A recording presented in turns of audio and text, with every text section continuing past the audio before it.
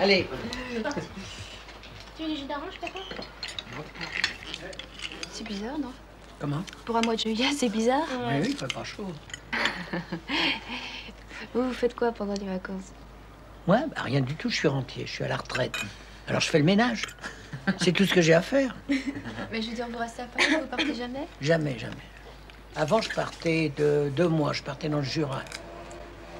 Je partais entre le col de la Faucille et la frontière suisse. Ça vous est arrivé souvent de rester au mois d'août à Paris?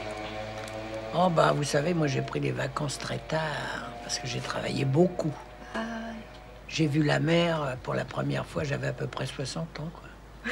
ah bon? Voilà. Ouais, ouais, ouais, ouais. Les vacances, on n'avait pas beaucoup le droit. Quand vous travaillez tout seul dans une maison, moi je faisais le taxi, ben, vous savez, il n'y avait pas à dire, il faut prendre, faut prendre deux mois de vacances. Alors j'ai commencé à prendre de grandes vacances chez une personne qui, avait, qui était à la campagne.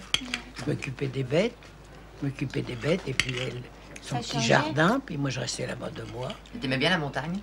Non, j'aime pas la montagne. Pourquoi t'aimes pas la montagne Parce que j'ai tellement l'habitude de conduire dans Paris, moi, les, les, les, les, Les les- routes. les fossés, ça me fait peur. Je suis un vrai Parisien. On est bien ici à Paris. On est bien à Paris. ici. Pareil, ici, on a tout ce qu'il faut pour se promener. Ah non, On a un grand il n'y a, pas. pas- y a, pas- y a pas la nature, il n'y a pas la mer. La nature, ah bah, il n'y a pas la mer, bah, il y a la Seine. Ça remplace, c'est pareil. Non, non, bah, c'est pas assez. Ben si. Pas- moi, la Seine, j'avoue. Et moi, qu'est-ce que vous voulez que j'aille faire à la mer? Je mets, Quand j'ai de l'eau jusqu'à la cheville, que j'en peux plus, j'ai peur, je sais pas nager. Alors,